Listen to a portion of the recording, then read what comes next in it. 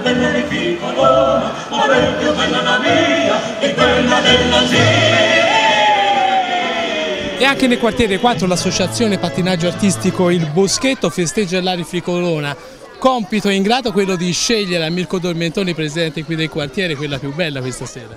Sì, compito ingrato perché sono davvero belle, sono molto belle quelle autocostruite e sono tante, quindi c'è fantasia, creatività, passione eh, che ci hanno messo le bambine e i bambini, anche i genitori che li hanno aiutati.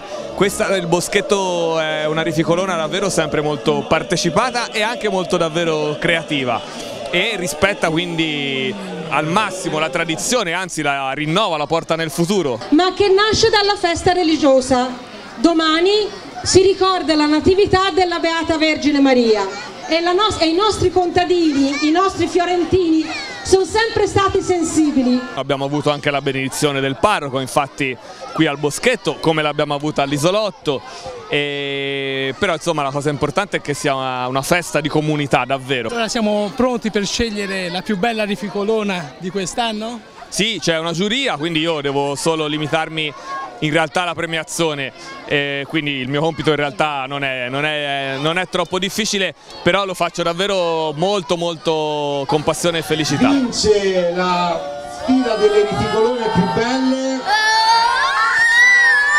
il Principe Renotti.